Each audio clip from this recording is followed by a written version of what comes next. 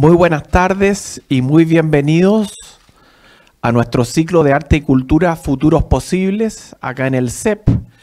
Ahora continuamos con nuestro ciclo de documentales. La semana pasada tuvimos Los Reyes de los realizadores chilenos Betina Perú e Iván Isvanik, siempre se me olvida, Osnovikov.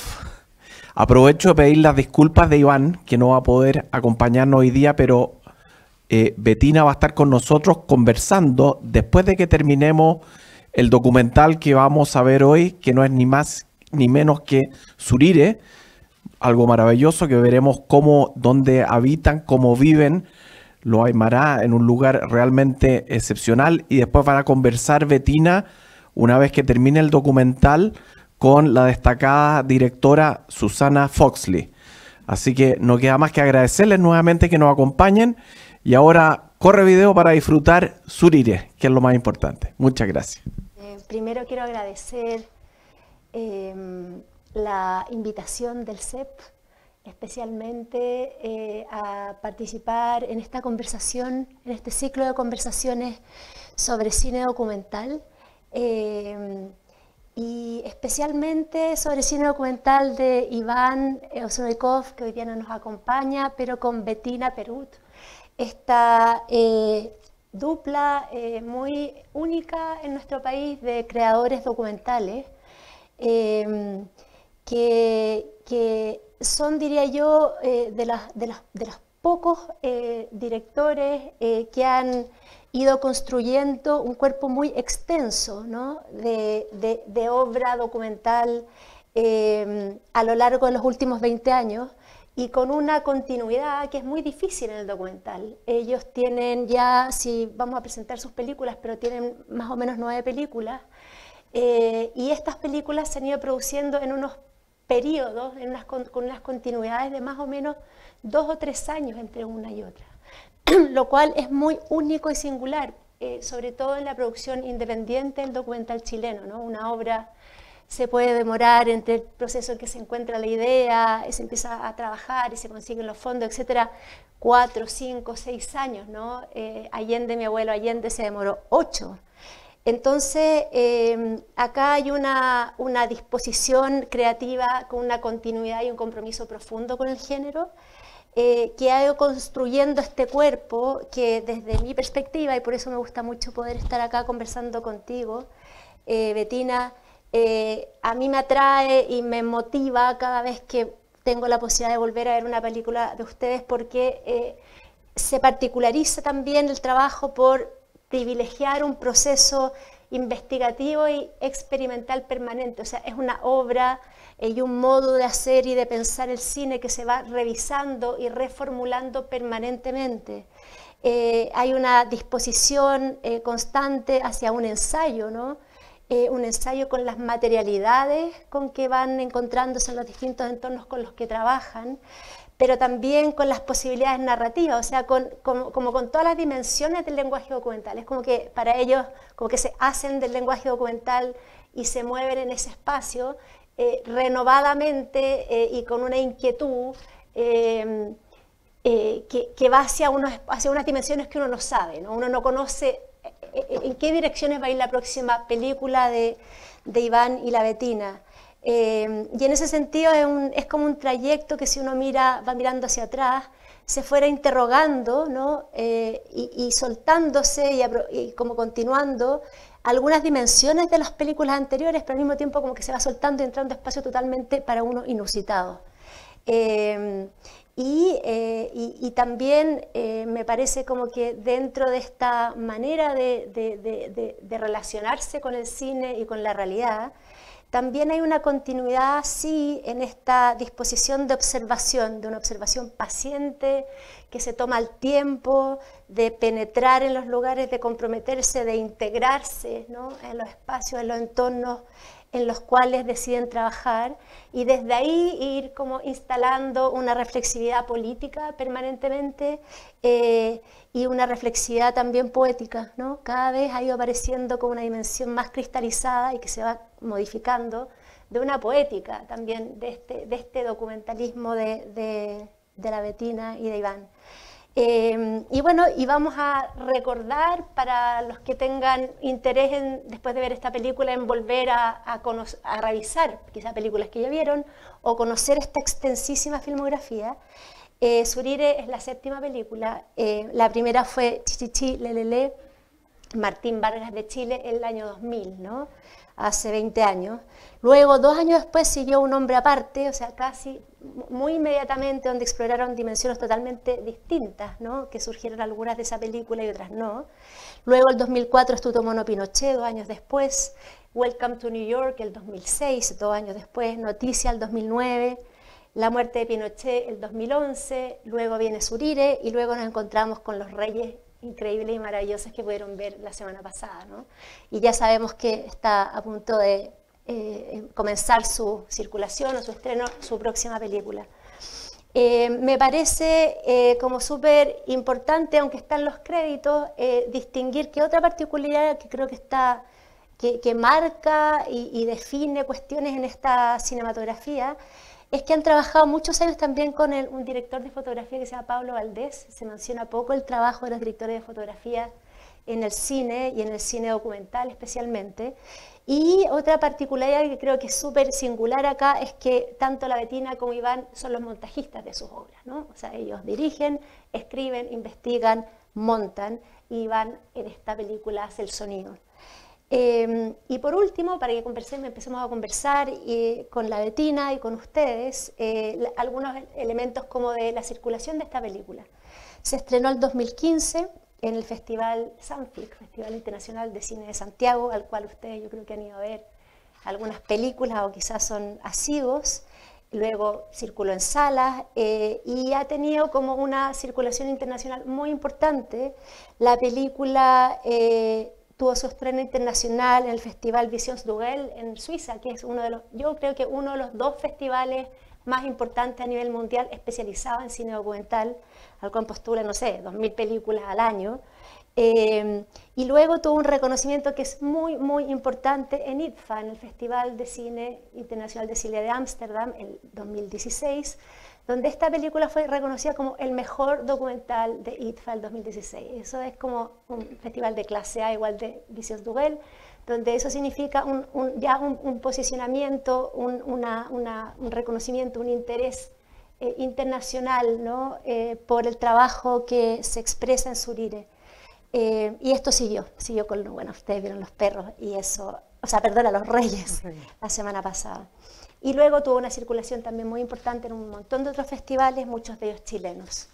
Entonces, para comenzar la, conversación, por supuesto que queremos invitarlos a que, no sé, vamos a ir abriendo con un par de preguntas mías, pero que hagamos una, ¿no? una cuestión eh, colaborativa, suelta, de ir como poniendo en común las ideas, ¿no? no tiene por qué tener ninguna coherencia lineal, que les haya surgido eh, el, mirar esta película Surire por primera vez o quizá por segunda o por tercera.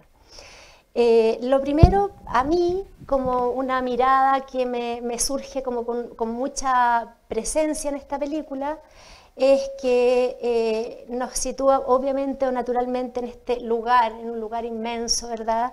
En un paisaje vasto, al principio es difícil de ver o de comprender, de dilucidar sus límites, sus recorridos, las personas que lo habitan, eh, eh, nos hace esperar, hay una temporalidad que nos hace esperar, ¿no? y que vamos entrando en ella progresivamente, pero también es un documental que nos, nos instala fuertemente en la conciencia de que estamos dentro de un documental, estamos dentro de una mirada sobre este territorio y sobre este lugar.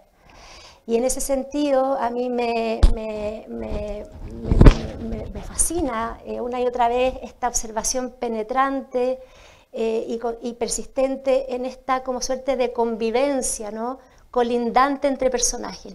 E, eso es algo como único que yo no había visto antes de este documental, en otros documentales.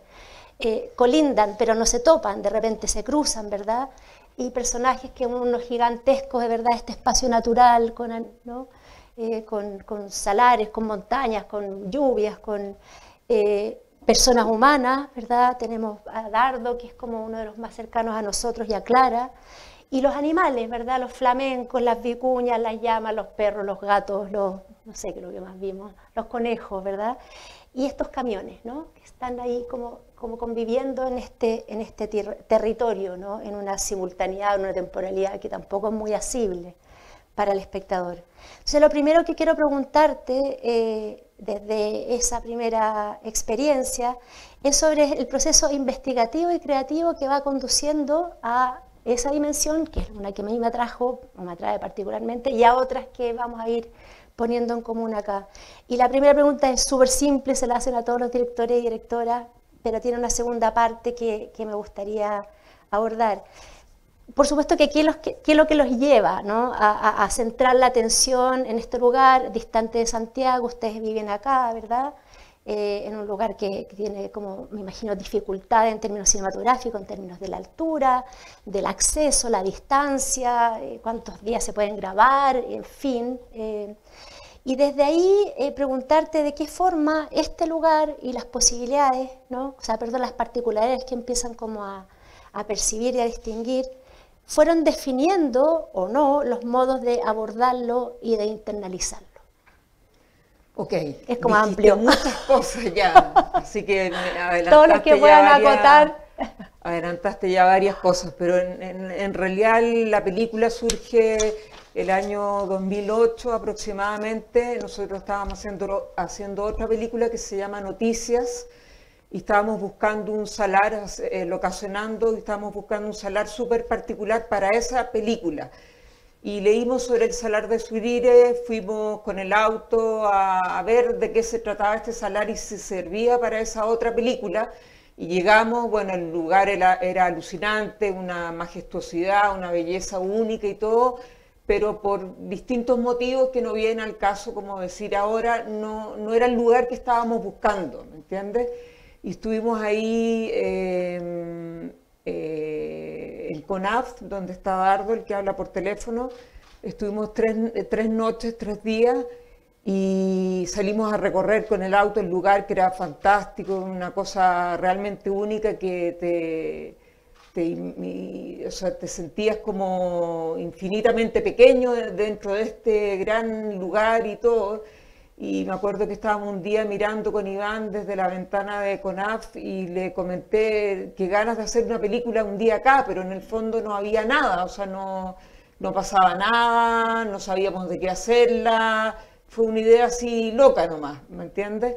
Y me acuerdo que el último día, cuando ya estamos volviéndonos, eh, seguíamos como mirando desde, no sé si habíamos ido como un monte y todo, y vimos una hilera de bulldozer, eh, uno detrás de otro en el salar, ¿me entiendes? Y nosotros no teníamos idea que había una mina y que, y que, y que Surire es un monumento natural protegido por leyes indígenas y medioambientales.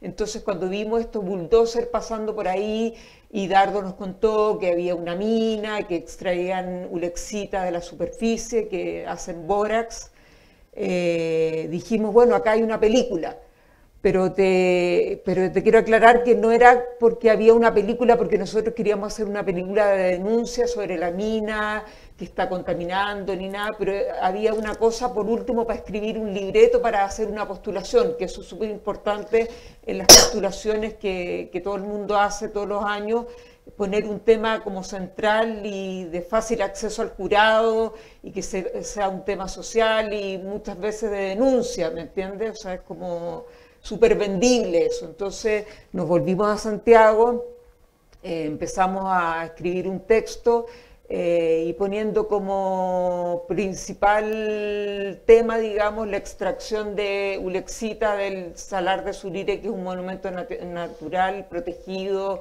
por leyes ambientales, indígenas y todo. Y nos fue bien en ese concurso, digamos, nos dieron la plata y todo, pero seguíamos sin saber de qué iba la película, porque nosotros, nuestro estilo de hacer documentales no es tampoco un estilo de denuncia, ni un estilo periodístico, ni nada, o sea, en el fondo eh, la extracción de mineral de Surire y los camiones y la contaminación y todo, era una línea narrativa de la película y teníamos que buscar si qué otras cosas sucedían en Surire para ver si podíamos construir algo que no fuera solamente la mina, ¿me entiendes? Entonces dimos con estos tres personajes, Aymara, que era Clara Carizaya y los otros dos, el otro matrimonio de, de, Aymaras, más el niño que viene con la mamá y todo. Y conocimos a Clara, fue súper difícil entrar en ella porque hablaba Aymara, le costaba mucho hablar castellano, fue dificultoso para nosotros como acceder eh, tuvimos que estar varios días tratando de convencerla de que hiciera cosas frente a cámara, cosas naturalmente y todo, pero descubrimos, lo bueno que descubrimos en ella fue que era un real personaje, porque a nosotros tampoco nos interesaba como que hubiesen aymaras, cualquier aymara, digamos, o sea, si, si no servían ellos como personajes, no había tampoco película, ¿me entiendes? Entonces, bueno, al final de, con todo esto eh, es una película en el fondo donde hay un gran personaje que es el paisaje, que es el paisaje, la infinidad del paisaje, la finitud del paisaje, eh, animales humanos, animales no humanos, eh, esta extracción del salar, de la actividad minera, digamos, y donde todos estos espacios y con sus diferentes tempos se van como entrecruzando, pero parece que ni siquiera se tocaran, por así decirlo. O sea, como que con esta convivencia en el fondo del ser humano, en la finitud que, tiene, en esta inmensidad del lugar, eh, y con estas distintas capas narrativas que, por un lado, sí hay una denuncia a la extracción de, minerales en el salar y a la destrucción del salar, pero que no es una denuncia periodística, no es un estilo periodístico, es una denuncia más bien, digamos, poética, por así decirlo, o sea, a la postal altiplánica, donde está el paisaje maravilloso y todo, se viene una nueva postal, por así decirlo, donde se incluyen camiones, contaminación y todo, pero que hace un nuevo lugar, por así decirlo, y eso también es una belleza para nosotros. O sea, en el fondo está esta película tiene varias capas narrativas y habla desde, desde la denuncia, pero también con otros temas como los personajes, los aymaras, los últimos aymaras que hay en el lugar, la cultura aymara, pero no como testimonial, ¿Me entiendes? A nosotros no nos interesaba ir a entrevistar a un aymara y preguntarle de qué vive, cómo vive, tampoco victimizarlo ni nada de eso, sino que era como una observación y contemplación sobre las actividades que hacían y, y tratarlos como personas igual que uno, por así decirlo, ¿me entiendes? Entonces, en ese sentido, bueno, me Tengo una pregunta. pero, pero y, lo que tú decías, o sea, nosotros hay una investigación, cada película para nosotros es como un salto al vacío también. O sea, nunca sabemos cómo contar lo, lo nuevo, digamos, y para nosotros es súper importante la experimentación visual, audiovisual, y que las imágenes también hablen por sí solas, ¿me entiendes? O sea, como quitar texto, tratar de quitar lo humano como del centro, ¿me entiendes? Y que las imágenes sean los portadores del mensaje. Entonces, en ese sentido, para nosotros, cada cosa que nos permita tener una experimentación tanto a nivel audiovisual como a nivel narrativo es un desafío para nosotros y cada película ha sido así, en el fondo, algo experimental. Eh, para mí la, complejidad del punto de vista al cual ustedes llegaron, esta mirada que tú dices como desafectada de una etnografía, de una mirada etnográfica más tradicional, eh, de una mirada, de, una mirada del entorno desde la perspectiva turística o ese tipo de representaciones, eh, esta otra mirada en la cual tú dices como que hay esta, esta, esta confluencia paralela, esta existencia en una especie de jerarquía o sea, perdona, como de, jerarquía idéntica, ¿no? En este entorno de todos estos seres que, que tienen su cierto nivel y grado de autonomía, ¿verdad? No se topan, se cruzan, no se afectan, no hay unas estructuras dramáticas clásicas en las cuales uno le va a hacer daño al otro y otro no. Me imagino, o sea, yo para ver eso puedo prever que hay un proceso que no sé cómo es en ustedes, muy largo o no, de maduración para ir llegando a esa mirada sobre un espacio, sobre un lugar, sobre los seres humanos, sobre, o sea, hay una perspectiva eh, muy, muy fina y muy eh, eh, compleja sobre este espacio y el ser humano y el mundo social y etcétera, ¿no? Entonces, ¿de qué modo ustedes, porque investigaron cinco años, van llegando a esta, esta aproximación o es una cuestión que traen desde una película anterior, eh, esta mirada como, no sé, humanista, etcétera, en que lo animado y lo inanimado tienen o, de qué modo fueron encontrando, ¿no? Eh, caminando en esos lugares, encontrándose con estas personas y luego mirando hacia atrás, no sé si sentado en un cerro y viendo la escala de los animales o la escala y atrás. ¿Cómo fue? O si es que se puede explicar, porque quizás es mucho más intuitivo, es más que va llegando a cristalizar esta manera de mirar que nos entrega este documental, que no es que podría ser otra. Lo que pasa es que en todas nuestras películas, en el fondo, eh, nosotros no hacemos una investigación previa, por así decirlo. O sea, nosotros nos lanzamos como a, grabar, digamos, y, pensamos, eh, lo pensamos sobre todas las películas que hemos hecho, que en la grabación, en la en, el rodaje de la película es cuando se construye la película, o sea, es a partir del rodaje cuando nosotros conocimos a Clara, cuando conocimos no solo a Clara, sino que los pies de Clara, que también se convierten en personajes que son como una geografía del lugar, o sea, sus pies son el lugar mismo, por así decirlo. Después descubrimos los perros de Clara. Al principio uno eh, deja cosas de lado que cree que no tienen mayor relevancia, mayor importancia, pero nos, dimos, nos fuimos dando cuenta de la relación que tenía Clara con los perros, entonces ya, ok, sigamos a Clara y a sus perros, o sea, personajes también los perros, y sale todo esto del corte pelo de la chunca, que es una cosa, una casualidad, que nosotros no sabíamos, ¿me entiendes? Eh, después conocimos a Dardo, nos dimos cuenta que Dardo trabajaba para la CONAF, pero finalmente tampoco hacía nada, porque nadie hace nada y digamos no hay una vigilancia ni nada, sino que simplemente se pide cosas, comidas, sardinas, latas de sardina y, está como viendo, observando el lugar, ¿me entiendes? Entonces, como Dardo es un personaje que en ese sentido como que habla en el fondo de la inutilidad, digamos, del, del, de CONAF y de los servicios que están ahí, se supone, para defender al salar, ¿me entiendes? Eh, después fuimos, seguimos las grabaciones y conocimos este otro matrimonio que nos parecían unos personajes secundarios que no eran muy potentes, ¿me entiendes? Pero están ahí un poco como vínculo para el niño, para el niño y la mamá del niño que viene a pastorearle. Entonces son unos personajes como secundarios que no, no, no, no, tienen la relevancia de Clara.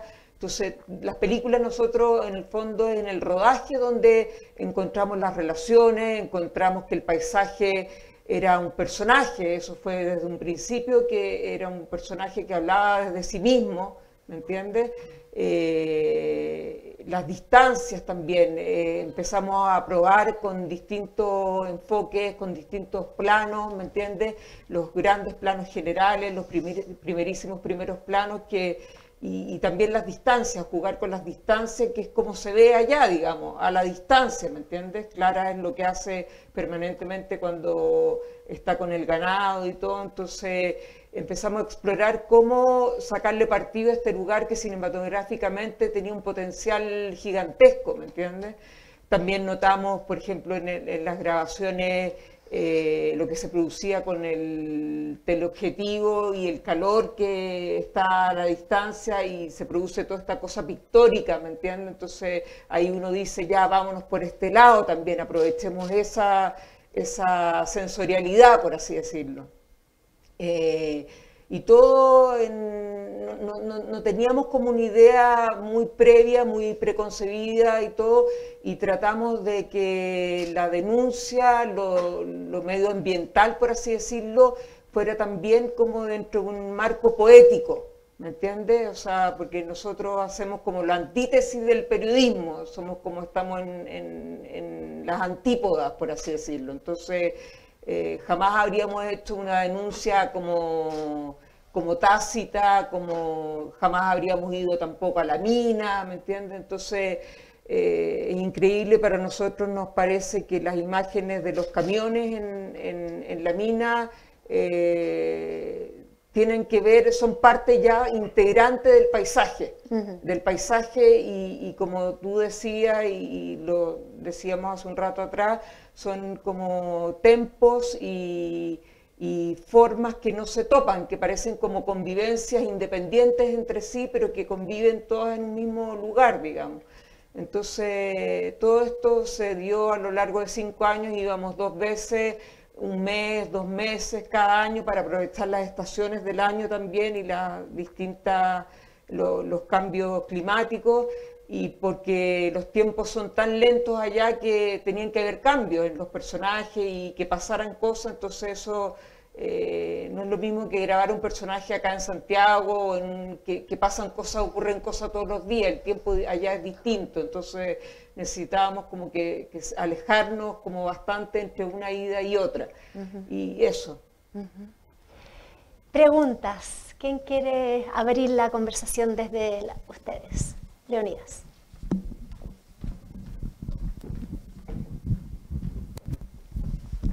Bueno, antes que nada, gracias Susana por la, introducción que nos sitúa y nos pone en un contexto a los más legos de, este documental Surire y de la obra de, de Betina Iván. Eh, da la impresión, Betina, de que hay muchas realidades y muchos contrastes dentro de lo que ustedes hacen y en particular en Surire. Y, todo con una sutileza o una fineza en la transmisión de, imágenes. Y, voy a ir a la pregunta y continúo un poco lo que decía Susana. Por ejemplo, esta dicotomía, estas dos realidades entre la extracción, los camiones, los bulldozers y el otro lado la vida de los Aymara. Pero por otro lado también ese símbolo de, las dos mujeres esperando que las lleven y para un camión. ¿Te fijas? Todas esas sutilezas que se van dando y esos mensajes entonces, la pregunta mía, porque pareciera que el trabajo de ustedes es, de alguna manera un poco espontáneo, surge una inspiración y David se va desarrollando a través de estas realidades que ustedes van descubriendo. La pregunta, y, sigue un poco lo que te preguntó Susana, ¿cómo, cómo se combinan esas imágenes que ustedes van eh, adquiriendo, por así decirlo, con esa narrativa, con esa poesía? ¿Cómo logran, de alguna manera, aunar todo eso en una tú hablaste de la, o alguien, tú, creo que fuiste tú, Susana, de, esta mirada poética. ¿Cómo se combina eso? ¿Cómo puedes? Porque me imagino que tiene una cantidad de material tremendo. Y ¿Cómo es ese proceso para llegar a, esta narrativa? Imágenes y poesía. Esa es la pregunta. Lo que pasa es que, eh, a ver, para nosotros eh, empezamos haciendo documentales y no tenía tanta relevancia la imagen, por así decirlo. Pero a partir de un, documental que hicimos en Nueva York, que se llama Welcome to New York, eh, nosotros no, fuimos a vivir dos años en Nueva York, no sabíamos inglés. Te cuento esto como para que, para que entiendas el principio, cómo se gesta esto de la imagen y de la poesía y la poética, por así decirlo. Entonces fuimos a Nueva York, estábamos ahí, no sabíamos inglés y teníamos que hacer una película eh, sobre Nueva York y salimos a la calle a mirar. No éramos, éramos turistas, estábamos fuera de, ese espacio, no nos pertenecía, no, no, no, entendíamos nada y nos obligamos a, a, través de la imagen a narrar situaciones.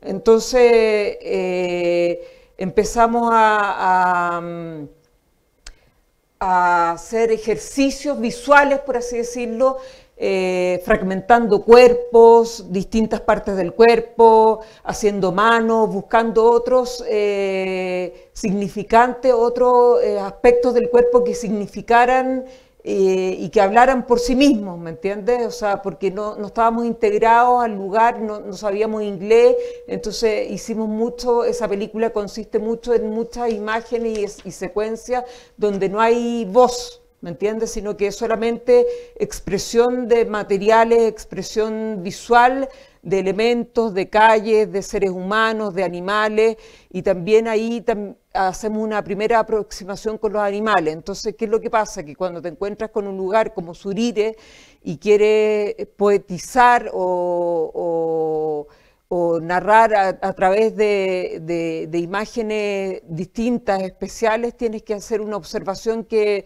fue como milimétrica, o sea, de estar días y días ahí tratando de buscar imágenes, tratando de buscar eh, paisajes, eh, tratando de relacionar unas cosas con otras, los camiones, eh, los distintos planos, la lejanía, el, sonido, cómo la construcción del sonido, que muchas veces estamos en lejanía y hay situaciones que son sonoras, digamos que tienen sonido y que tú no las, no debieras escuchar, pero están en un primer plano sonoro porque, bueno, primero se graban y después en postproducción se, se, se hace ese trabajo, ¿me entiendes?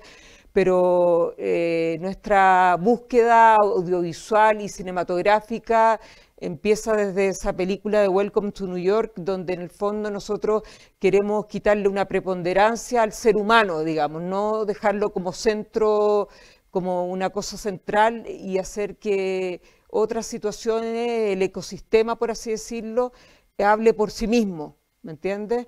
Eh, y que haya en otra, porque nosotros no convivimos solamente solos, sino que estamos en una permanente relación con otras cosas, entonces queremos que esas otras cosas también tengan una primordialidad, una primacía, ¿me entiendes? Entonces eso lo fue lo que pasó con Surire y por eso eh, después de un trabajo de observación y todo, pudimos llegar a estas imágenes y, ver... Eh, los distintos planos y, hacer un, algo cinematográfico potente, digamos, y, llevarlo a lo pictórico, por así decirlo. Entonces, eso más que nada, y quitando lenguaje, quitando voces, quitando, y que la imagen fuera lo preponderante. Siguiendo esa línea, y voy a ofrecer la palabra eh, después de mi pregunta. Oh, bueno, vamos contigo primero, mejor. No, que tengo para Vamos con, tu pregunta. ¿Quién quiere? Gracias.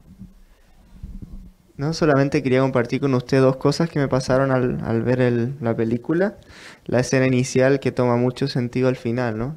el agua, las burbujas, porque uno está todo el rato viendo la sequedad y como que da un poco de alivio la escena final, las burbujas, ¿no? Toman, toman el significado.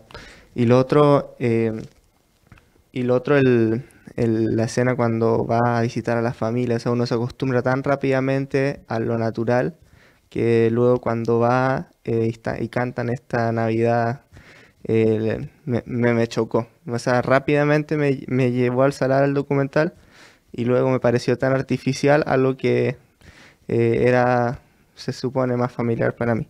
Pero bueno, volviendo a mi primera impresión, ¿cuándo se le ocurre entonces eh, dar esto como el pie final, las burbujas, el agua? Eh, ¿Cuándo se le ocurre eh, llevar esto como el mensaje principal del documental?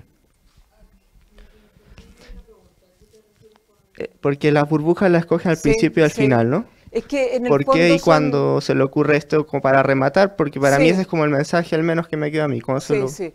Es que en el fondo es la construcción de esferas. En el fondo es como una construcción de esferas, de, mundos distintos, digamos, que eh, vienen desde lo macro, ¿me entiendes? Desde la tierra misma, desde la pureza misma, hasta la construcción de espacios vitales que colindan entre sí y volvemos al, al ¿cómo se dice? Al, a la cosa turística, que también es una contaminación del lugar, digamos, para volver a, a cerrar un ciclo. Es como un gran ciclo, Surire. Es como un gran ciclo en un espacio temporal, con un tempo propio y todo, y volvemos, eh, fue súper difícil para nosotros encontrar un final, en un principio que eh, pensábamos que los pies de Clara en el fuego, en la, en la, casa, iba a ser el final de la película, pero tampoco Clara era, tampoco era una película sobre Clara, por así decirlo. Entonces nos costó mucho llegar a ese final y, y decidimos que la burbuja era lo que cerraba este espacio, porque es la película sobre un espacio principalmente, no sobre personajes. Entonces por eso eh, volvimos como al inicio, como a esta cosa cíclica, cíclica de los camiones, cíclica de los animales, de la vida de los animales, cíclica de los personajes, de los aymaras que viven ahí. Entonces por eso decidimos la burbuja. Y con respecto a lo que dices de, de Clara cuando sale del salar, es una fiesta que se hace todos los años para los aymaras que están en el lugar que la hace la municipalidad y donde hay un quiebre de código en el fondo, en la película. Eh, no sé si pueden percibirlo de esa forma, digamos. La película tiene un código que, va durante todo el rato, digamos, y ese salir hacia ese lugar eh, no me acuerdo en este minuto el nombre, cómo se llama, hay un, hay un quiebre del, del, código cinematográfico, para decir, de la narrativa de la película, pero que nos sirvió, digamos, eh, era funcional, digamos, a los intereses que teníamos y se dio casualmente que había un pedicuro que, que hacía el trabajo para los aymaras de ahí, para, realmente no es alguien que hayamos puesto nosotros, sino que es un señor que iba a esta fiesta, digamos, ofreciendo el servicio de hacer los pies a los, a los aymaras. Entonces, pero hay un quiebre de, de, de eje en lo que es la película de, lenguaje? Sí, es un lenguaje distinto, pues un lenguaje más, menos eh, poético, menos pictórico, menos... Eh, es, más concreto, hay una cosa súper concreta, hay una fiesta, hay caras, rostro, eh, se come eh, un, un, quiebre en, la forma eh, eh, es, mucho más normal, por así decirlo, es más, menos transgresor, menos poético, es más está dentro más de una normalidad de registro. El mm. registro es distinto. Ah, como que no hay una estilización a través de la imagen o del exactamente. sonido. Mm. Sí.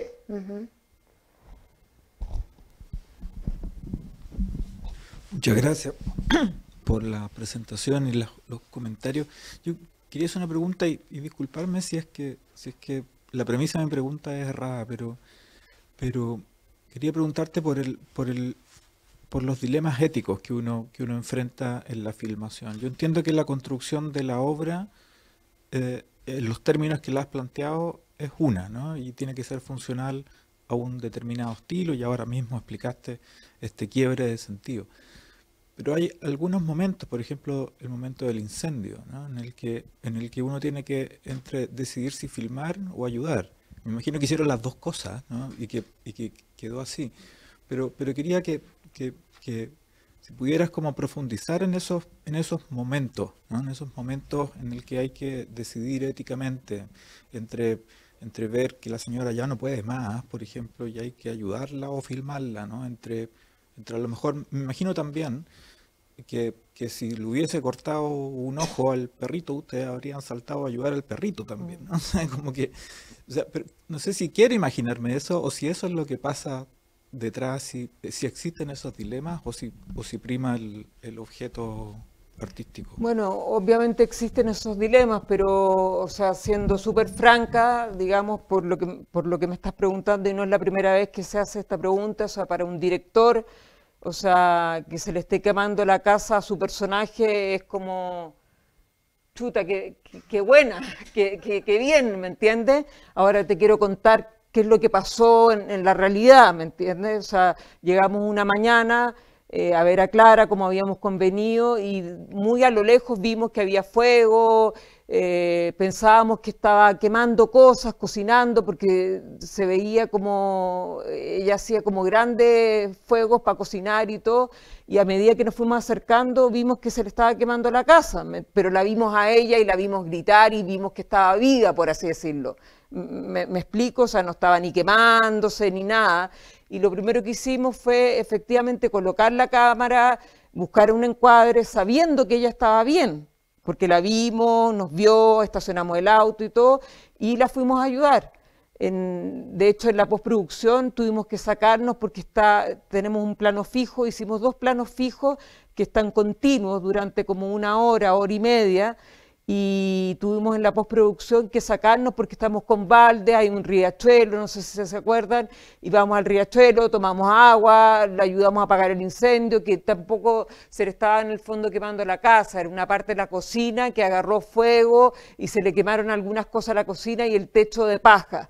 Pero en esas circunstancias el dilema o sea, nosotros, no sé qué habría hecho otro director, pero para nosotros lo principal fue poner la cámara sabiendo que Clara, viéndola desde un comienzo, viendo que estaba bien y que estaba viva y que no se estaba quemando, pusimos la cámara. Seguramente si hubiésemos visto que estaba tirada en el suelo o quemándose, habríamos ido a ayudarla al tiro, pero cachando que la situación estaba como controlada y todo, eh, lo primero que hicimos fue poner la cámara y de ahí la ayudamos.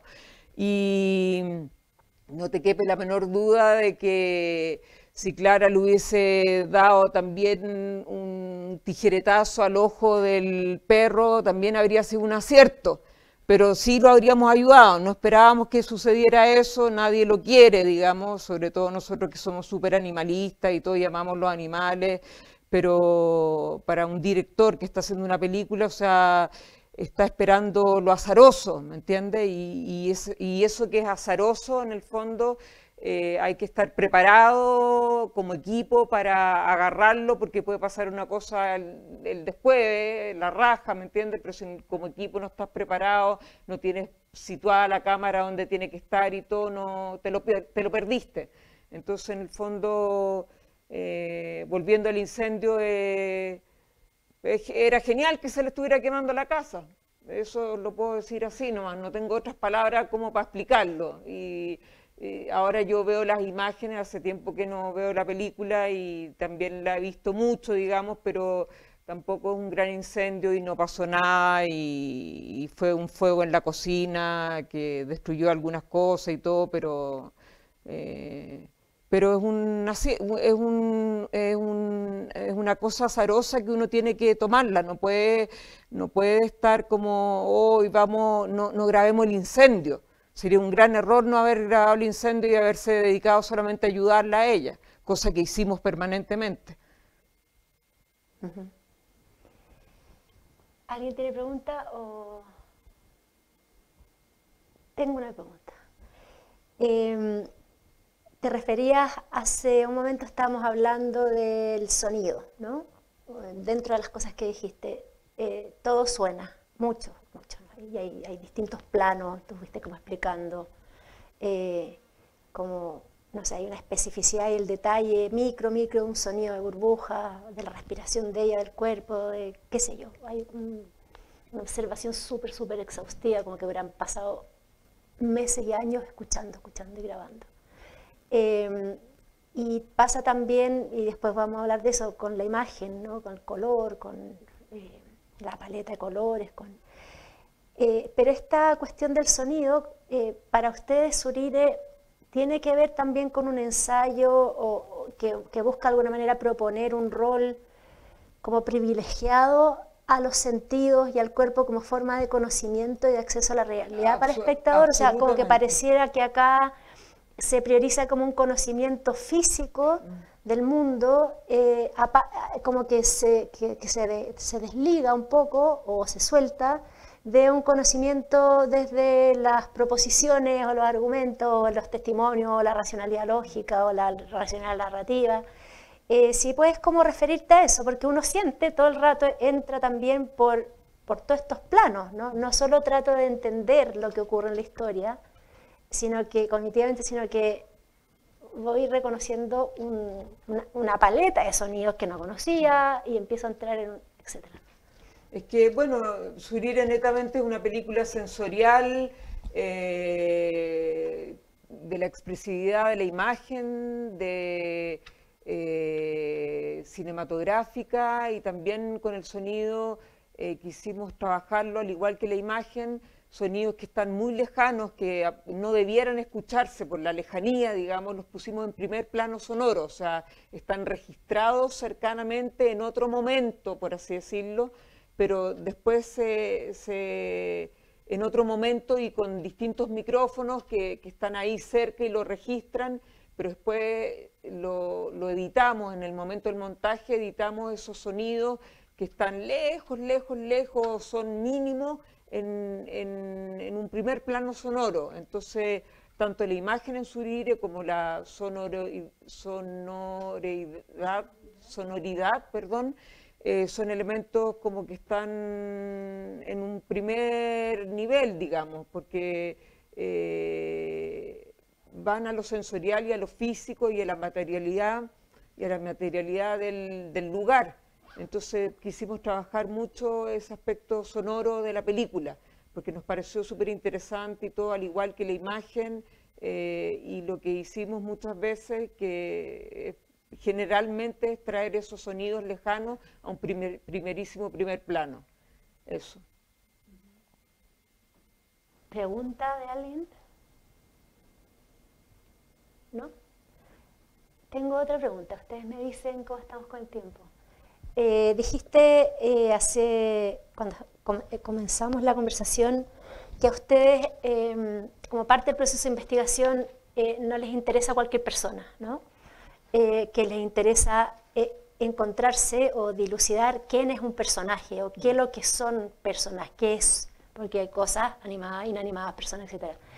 ¿Qué es lo que es para ustedes esa distinción entre alguien que puede ser una persona o un conejo, no sé, ¿qué es lo que es un conejo personaje o un mm. ser humano que, se, que, toma esa dimensión? ¿Qué es lo que lo, lo, distingue? Lo, que yo había partido diciéndote era que en el fondo eh, nosotros no, no o sea, cuando preguntamos si habían aymaras que vivían en el lugar, eh, no era para un testimonio, nosotros nos, vamos en función de, de un reportaje, a buscar testimonios de Aymara o cómo vive una Aymara, a pesar de que la película está eso, ¿me entiendes? Pero no en forma testimonial, eh, con voces, o, sino que está en una forma lúdica, retratado, digamos. Entonces, si Clara, por ejemplo, o el matrimonio de, de Aymara no hubiesen tenido una particularidad en su forma de ser, en su forma de expresarse, en su actuar, en las cosas que hacían, nos habríamos quedado sin aymaras, porque no, no, no, no nos interesaba que fuera solamente eh, una aymara cualquiera, sino que tenía que reunir ciertos requisitos que son los que tú ves para que una determinada persona, un determinado hombre, mujer, perro incluso, o animal, digamos, tenga las condiciones de ser un personaje versus otro que no lo es. O sea, tú puedes tener una persona que a lo mejor no habla nada y que está absolutamente callada, y que no gesticula nada y ser un gran personaje. Una persona que está así quieta, sin decir nada y ser un gran personaje. Y, Clara nos pareció que podía, que podía servir porque la vimos, la observamos durante varios días, la vimos actuar, vimos eh, cómo gesticulaba, cómo se movía, las cosas que hacía. Eh, hablaba en Aymara, pero metía estas pequeñas cuñas en castellano entonces cómo fotografiaba ante la cámara, entonces nos pareció que ella sí ameritaba ser grabada y, era y construía un buen, un buen personaje, Clara, ¿me entiendes? Mucho más que los dos personajes secundarios, que es el matrimonio, pero que están ahí como un nexo para la venida del niño y de la madre, como te había explicado antes y, también Chunca, Perico, que son los dos perros que tiene Clara. Son, son perros, no son cualquier tipo de perro, ¿me entiendes? Tienen su particularidad, tienen su particularidad. Chunca se convierte en personaje desde el momento que tiene esta chasquilla, eh, todo este corte todo irregular, entonces esas características distintivas hacen que, que hayan eh, personas en una película, digamos, en un lugar donde estás grabando que, que, son personajes versus otras que no, que no sirven porque no te están comunicando nada, porque están fotografiando mal frente a la cámara, porque no, no dicen nada, no... entonces así es como indagamos en eso nosotros. Eh, no sé si contesto a tu pregunta. Muchísimas gracias Susana y Betina por esta gran conversación. Eh, Muchísimas gracias eh, Susana y Betina por esta gratísima conversación y tan interesante. Eh, aprovecho de dejarlos invitados para el próximo jueves, el, jueves 23 de la próxima semana, que vamos a seguir con este ciclo con un hombre aparte de, Iván y, y Betina. Eh, en esa ocasión va a comentar y conversar después con nosotros Rafael Gumucio. Y a todos los que están acá en la sala, bueno, los invitamos a seguir conversando afuera con, con un picoteo y algo para tomar. Así que muchas, gracias. a todos. Muchas gracias. Gran aplauso. Quiero agradecer a también por la invitación. muchas, gracias. por invitarme también a esta conversación. Gracias, Susana.